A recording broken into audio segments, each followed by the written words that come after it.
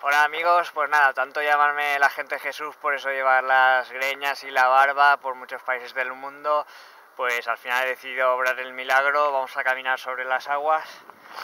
Y bueno, como podéis ver cualquier persona normal lo puede hacer porque ahora mismo estamos en medio del lago, está totalmente congelado, he visto aquellos que pasaban, o sea que me ha atrevido, esperemos que no se hunda esto, pero bueno, con la rasca que hace no creo que haya problema alguno. Estamos en Ekaterimburgo, en Rusia, a las puertas de, de Siberia.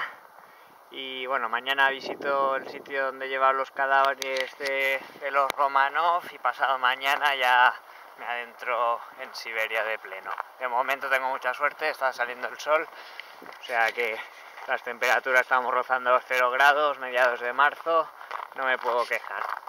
Pues nada, obrado el milagro, allí tenéis el puente que prueba que esto es un lago. Y bueno, no creo que salgan osos polares, pero ahí queda el caminar sobre las aguas. Un saludo desde Rusia.